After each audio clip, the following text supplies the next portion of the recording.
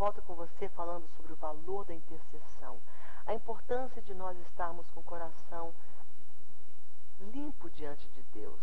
Nós não somos perfeitos, mas temos que buscar perdão de Deus, ter uma atitude de, de desvencilhada de atitudes pecaminosas, das obras da carne que querem nos enfraquecer. Temos que ter o coração sensível a Ele, um coração também, além de estar desvencilhado, um coração que reconhece que a força vem dele, o poder vem de Deus, um coração humilde. Reconhecer e ser sensível quando Deus coloca no nosso coração. Eu lembro aqui uma história que eu já contei muitas vezes aqui sobre o meu irmão. Ele estava num lugar, num outro país, envolvendo-se com drogas, com... foi criado na casa do Senhor. Estava ali envolvendo com drogas pesadas, bebidas. Um dia minha mãe sentiu muito peso de orar por ele. Ela me chamou. Eu e minha mãe estávamos ali, era jovem, tinha uns 15 anos naquela época. Eu estava ali orando, 14 anos, com a mamãe intercedendo. E naquele momento que minha mãe estava intercedendo aqui no Brasil, naquele outro país, Deus começou a falar com meu irmão. Primeira coisa, caiu a ficha. Ele falou: O que, que eu estou fazendo aqui? No meio desse povo todo que está embriagado, está todo mundo aqui nesse grupo de amigos, todo mundo usando drogas. Ele começou a cair em si ver. Eu sou. Eu fui criada num, num lar cristão. Meus pais me ensinaram tão diferente. Deus estava fazendo cair a ficha. Alguém orando, Deus agindo. Alguém intercedendo, Deus trabalhando. E meu irmão foi liberto. Vou resumir aqui porque tem muita coisa para falar. E hoje ele é um pastor, homem de Deus, faz a obra de Deus. Está entendendo? Então Deus ouve, Deus age, Deus liberta através das nossas orações mas temos que estar sensíveis. Todo o poder é o poder de Deus sendo desencadeado pela oração. Nossa oração chega aos ouvidos de Deus, né? E ele responde. Sabe, tem pessoas que tem, tem assim, passam para mim, olha, tem que orar pelo nome inteiro. Não, Deus sabe quem essa pessoa é. Se a pessoa dá, ora pelo João, Deus sabe qual é o João que eu estou orando. Se Deus me deu, alguém me deu pedido, olha, o João tal, Senhor. E quando você ora, você pode estender a tua mão. Tem um, um pensamento aqui que fala que você só colocar tua mão e estender em direção. Aquela pessoa pode estar lá, sei lá, lá no sul, no norte, no outro país. Estende tua, tua mão e fala, Senhor, aquela pessoa, Pai, toca nela. E Deus toca. É muito forte. Eu faço isso lá em casa. Eu acordo, tem uma foto de todos os meus filhos, futura nora, futuro genro, nora, estão ali. Eu quero que até que o Buba mostre aí essa foto. Eu tenho uma foto assim na minha casa também. Eu vou lá e coloco a minha mão, estendo ela, Senhor, abençoa meu filho, Senhor, luta por ele, luta para minha filha, traz salvação, liberta, faz, Senhor, milagres, cura, Senhor. E eu coloco a mão nessas fotos e vou orando por cada um deles. Você está vendo aí essa foto? Então você também pode fazer a mesma coisa. Você pode colocar essa foto na tua Bíblia, pode colocar essa foto na tua sala, estende as tuas mãos e interceda. Obrigada, Buba. Você pode fazer isso. A intercessão, ela é muito tremenda.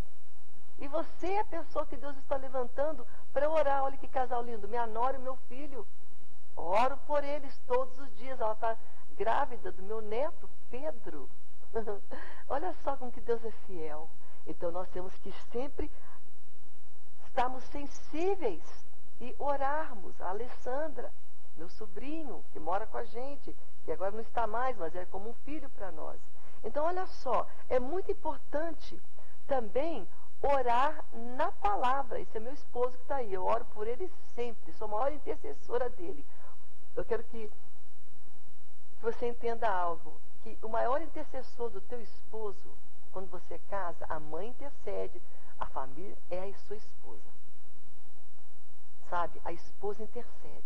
É muito importante orar, pedir a Deus graça, força, misericórdia, poder, unção, livramento, que o teu esposo ande mais perto, que ele seja um homem de Deus. Então é muito importante essa intercessão. Amém? É isso aí. Eu vou agora para uma outra atitude importante que nós temos que ter. É orar no poder da palavra de Deus. A palavra de Deus é tão tremenda, é a, é a palavra dele, é o linguajar de Deus. Quando você ora a palavra dele, você está orando palavras que Deus já conhece. Deus ama ouvir a palavra dele na tua boca. Quando você está lá orando, guerreando pela salvação de alguém, você fala, mas é impossível. Esse cidadão é duro, essa pessoa está muito difícil, amarga. Mas aí você pode orar uma palavra que é a palavra de Deus naquela vida. Você pode falar, mas está escrito em Zacarias, no capítulo 4, está escrito no versículo 6, que não é por força, não é por violência, mas é pelo meu espírito, diz o Senhor dos exércitos. Você pode orar a palavra. Está escrito. Eu não vou convencer, não vou gritar, não vou chorar e falar, para de beber, para de fumar, para de prostituição, para de fazer isso. Eu posso gritar, virar cambalhota, não é minha força, mas é o Espírito Santo que muda, que convence, que age quando você ora. Amém? Então Deus está falando conosco aqui. Ora a palavra, 1 João 3,8. Você está orando por alguém que precisa de ser liberto. A Bíblia diz que para isto Jesus veio.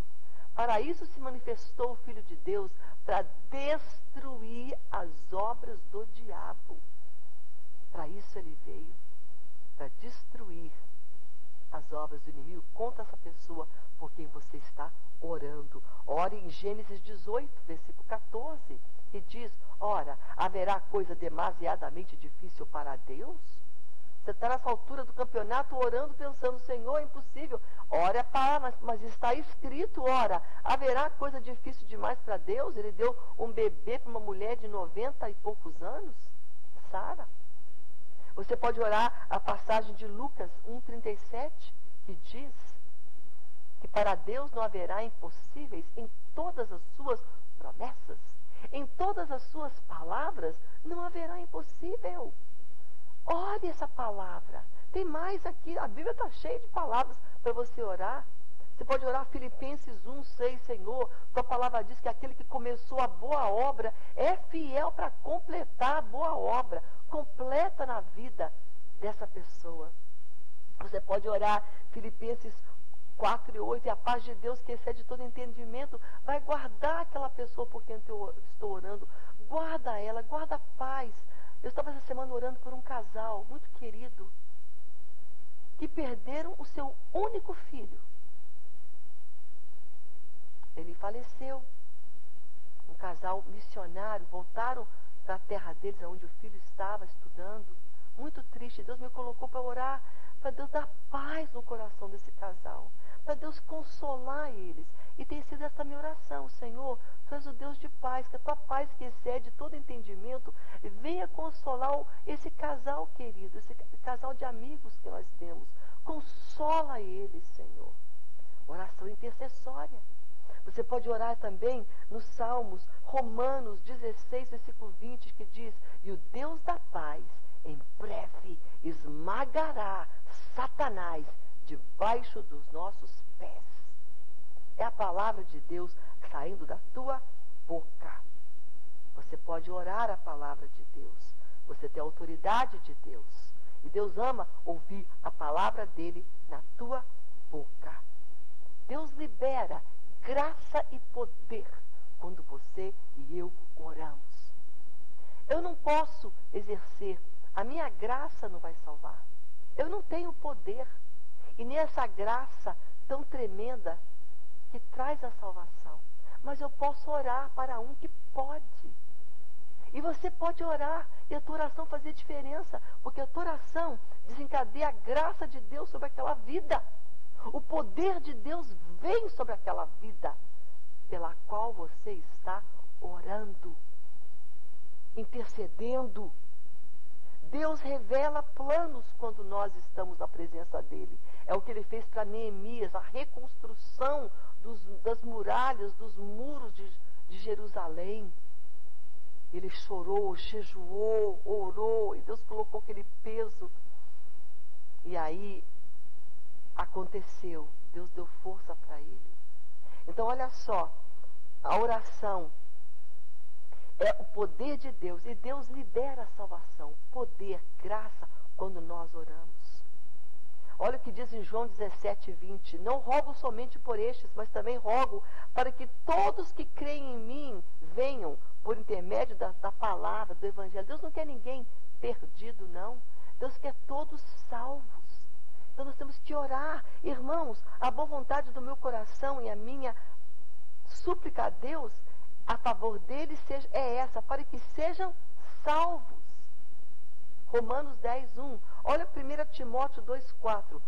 Olha, o qual Deus quer todos os homens eh, Deus quer que todos os homens sejam salvos e chegam ao pleno conhecimento da verdade, da salvação.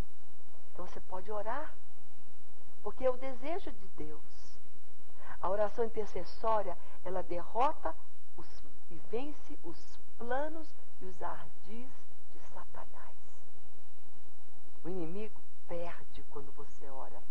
Eu tenho um pensamento aqui que eu anotei, ele é muito forte.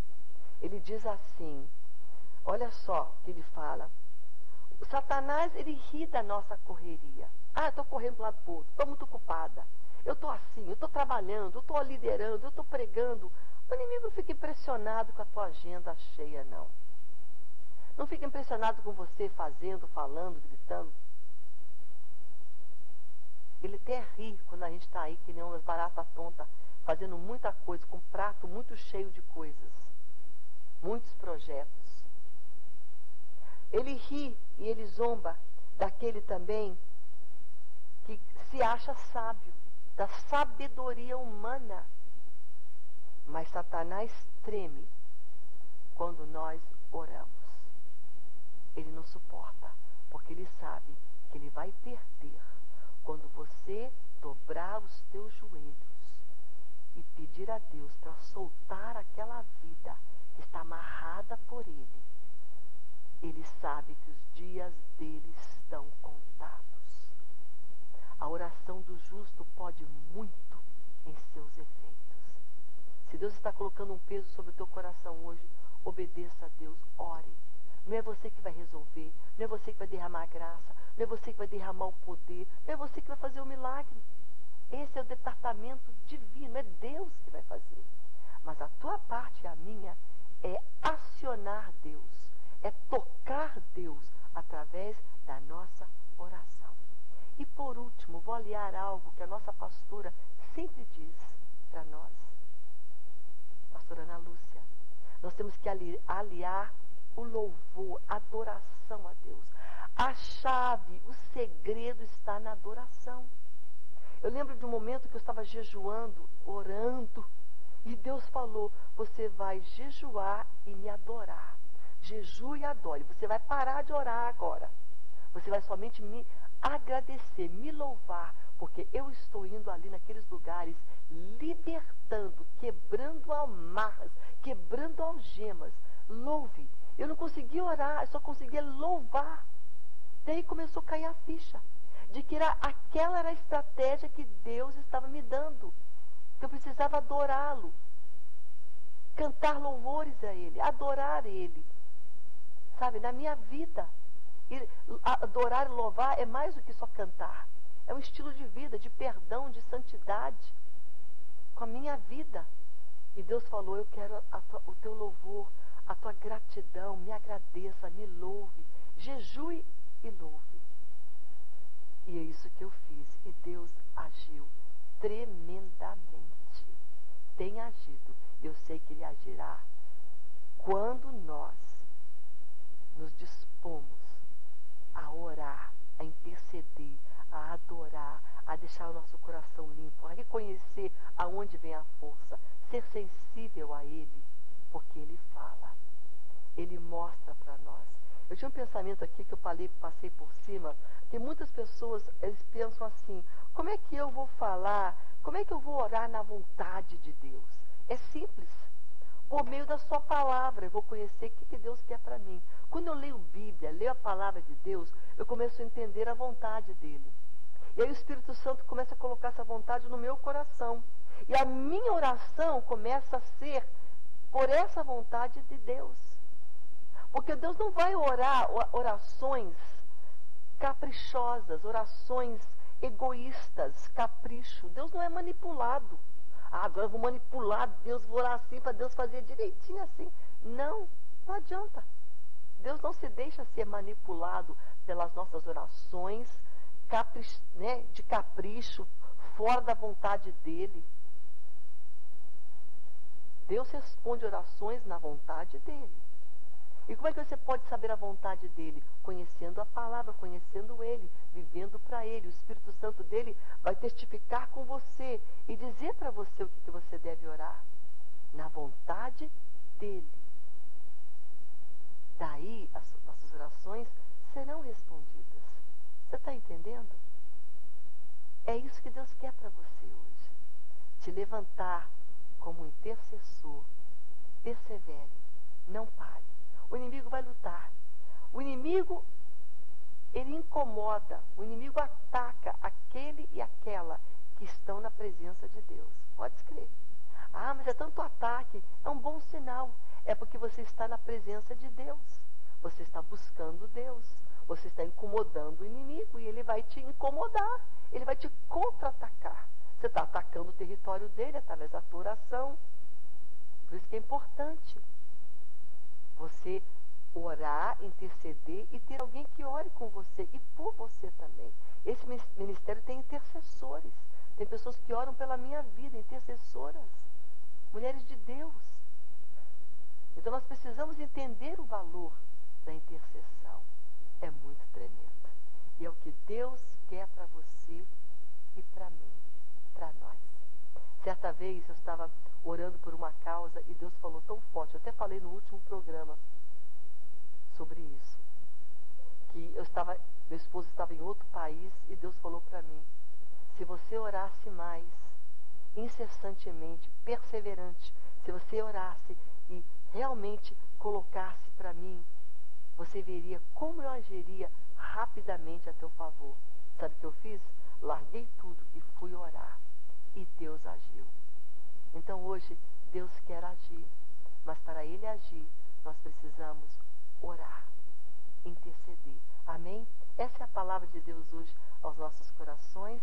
Nós vamos agora para um breve intervalo, porque na volta nós vamos orar, interceder por você. Daqui a pouco mais nós voltamos.